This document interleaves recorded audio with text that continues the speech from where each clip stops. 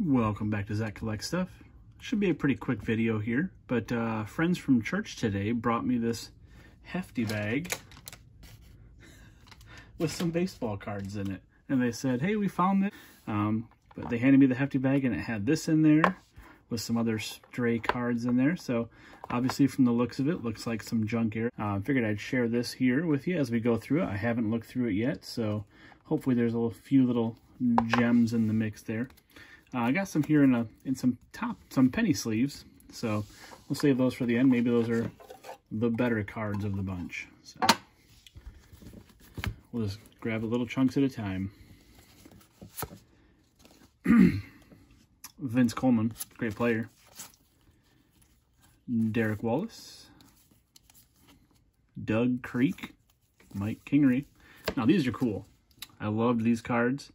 Made to look like a a credit card. I think there's gold and silver versions of these. I'm not sure exactly uh, if the golds are more rare or whatever, or if it was just different series. But the Barry Larkin Gold is definitely a really cool card. Love that. There's a Sheffield. That's a second year card, I think. Uh, looks like his third year, but I think his rookie was 89.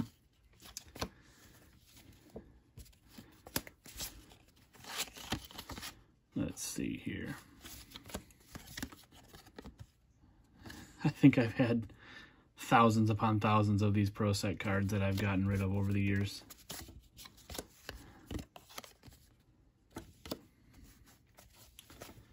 I love the old classic bests.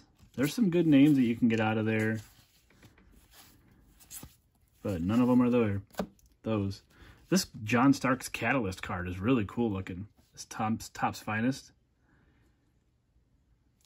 Love that 90s basketball card style. Super chromy. I like that a lot. Pascual Perez, Tim Wallach, Midre Cummings. Looks like he's stuck to another card. Ah, the sound of 90s cards coming apart. Oh, it's a Deion Sanders behind there, too. That was a cool card, but it got some surface damage there when it pulled it apart. It stinks. Rhino, that's a good one. Nolan Ryan, Dave Anderson. Say these Donruss 1990 was was not it. Um, these cards. Tom Seaver moving up in the record book. There's a Sammy, slamming Sammy Sosa. George Bell was a solid player. Let's see what else we got here. Dwight Good. There's a big hurt. Let's see if I can separate these ones any better. There we go. Another big hurt behind it. As a kid, this was where it was at for me. I loved these art cards.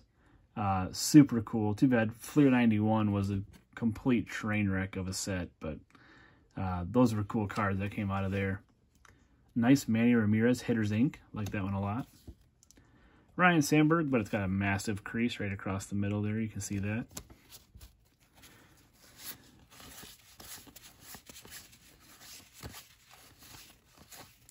Damon Berryhill, Jack Clark, Tim Laker, Classic Best, Todd Guggiana, Corey Thomas, Tommy Taylor, Glenn Carter, Dan Mastler, Paul Russo, Ryan. Bo Jackson. Nice bow there. This is that 91 Fleer design that the McGwire came out of. Mark McLemore. Now these Fleer, 94 Fleer, super thick stock card, very shiny, very nice looking cards. It really is a shame that there weren't better players in these these years to make these cards worth more. Obviously, if you get the Griffey and stuff like that, they're they're worth a decent amount, but uh, these cards are really cool. It's like, it's a nice two-sided insert here. It's got Kirby Puckett on one side. It's the All-Star Game. Got an American League outfielder on this side, Kirby Puckett. And National League outfielder on this side with David Justice. Really cool insert. I like that one a lot. Juan Gonzalez, Rickey Henderson, Carlton Fisk. These Pacific cards are so bad. I love the fact that people know that I collect cards and they bring me this stuff and it's just like, we don't know what we have here. We're just giving it to you. Um, this is the way it is with with junk era stuff. Anything from 1980s, mid 80s to really mid 90s, unless you're getting high quality, big name stuff like these and a lot of that stuff, then a lot of the stuff is kind of worthless. So Mark Wohlers was a solid pitcher back in the day for the Braves. Midre Cummings. There's Roger Clemens, the Rocket. He just pitched for the Savannah, Savannah Bananas the other day. Um, I think him and Roy Oswalt both. Kind of cool. Rhino.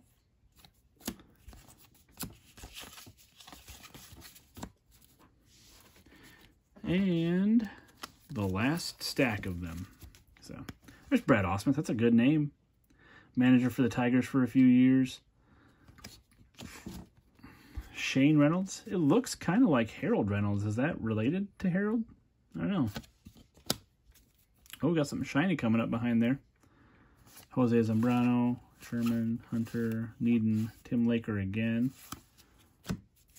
Now these call to arms cards are such cool cards. Wade Boggs, Donruss Crusade, Call to Arms. Super shiny, very colorful. And this one is numbered to 250. Now that is quite a good find. Um, I don't even have any top loaders left to put it in a top loader. That is a super cool find. Um, I don't know if I should take it out. These 90s inserts that are serial numbered, if you find Boggs collectors, if you find people that are collectors of this particular player, um, these can be pretty sought after um, just because they are from the 90s and they are serial numbered. So I'm going to get a clean penny sleeve. I'm going to put it in there. There's a lot of inserts in the 90s. Now you can see some damage in the bottom right corner. That's a pretty bad, pretty bad corner wear there. Um, so it won't gem if I send it into grade. But everything else looks pretty clean. The surface looked pretty clean. So I'm liking that a lot. Very cool card. Definitely worth the dig here. So let's finish this off here. We have Ken Anderson, Pete Young, Donruss 92, the rookies. I don't even know if there's anything, anybody in this set that would have been worth. Well, there's Lou Whitaker, one of my Tigers guys that I collect from the 90s. That was one of my favorite players. Him and Alan Trammell together, and then he had Travis Fryman at third base. That was such a good infield. Cecil Fielder playing first base. I guess the best rookie in that set might have been Matt Stairs. He kicked around the league for a long time. Oh, now we got, oh, there's a bunch of, okay, there's a bunch of penny sleeve cards there at the bottom. Didn't even notice that. So let's get the base out of the way there.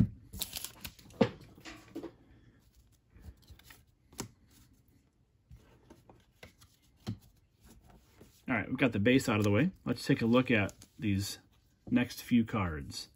State Representatives. That one is a sweet looking card. You can see the outline of Washington in the background. That one is serial number two.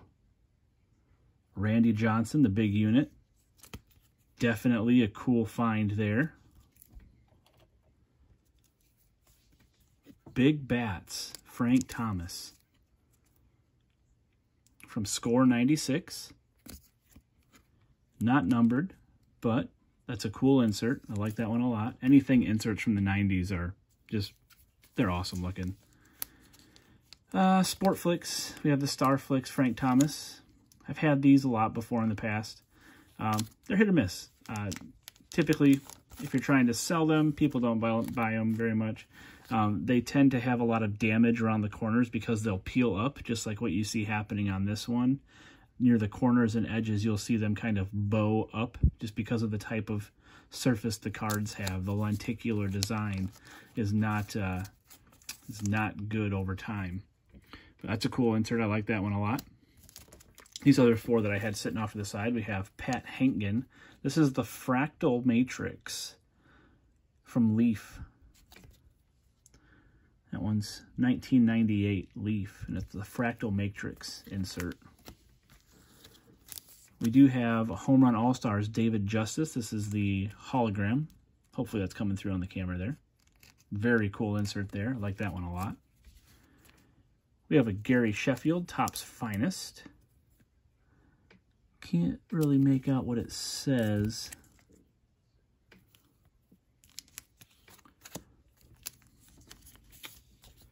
Sammy Sosa on the back, Gary Sheffield on the front. I think it says Mystery Finest. Now, this might have been one of those that had the um, that had the protective covering on it that was like hidden, so you couldn't tell who the who the players were on it, and you might have peeled it off to see. But that is a pretty cool Sammy Sosa Gary Sheffield insert. I like that one a lot too. I have a buddy that collects Sammy Sosa, so he might be interested in that one. Let's see. Andy Pettitte. Leaf, again, 50th anniversary of Leaf. It's a cool looking card. The surface of it is almost like a matte finish, almost like a canvas feel to it. That one's serial number two, number to 2500. Very cool. There's some, this is a decent insert lot here. Love this. I'm liking everything here. This is really cool. Obviously, we have the Boggs, the Pettitte, the Randy Johnson, all serial numbered. Ivan Rodriguez. I have a pretty good size Ivan Rodriguez collection. Pretty sure I have this one in there already. Albert Joey Belle. This guy was a freak of nature. He was huge. Hit some monster home runs. Another Barry Larkin gold credit card insert. It's the second one of those. Pretty cool. Put that one by the other one.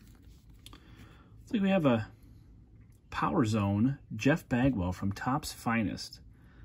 You know, for just being a a lot of baseball cards from somebody at church that just randomly brings them into you, um, this was a pretty awesome little insert set. So definitely add to the to the PC. So I love the surface on this one. This is a really cool looking card. This Bagwell is pretty.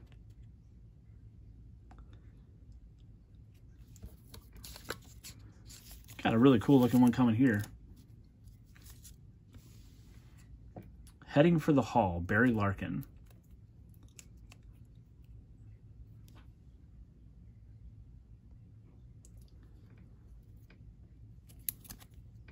And that one too is serial numbered out of 3,500. Cool insert, man. The 90s just did inserts the right way. Last couple cards here. Looks like we have an A-Rod. That's got to be an early A-Rod too. 1997, so second year, I think, for him. Maybe third year. And then a Craig Paquette. So that was really fun for just a little just a little jewel case of, of baseball cards. Some excellent cards came out of there. Quick review there. Barry Larkin, Jeff Bagwell, Hall of Famers. Really cool big unit insert, state representatives.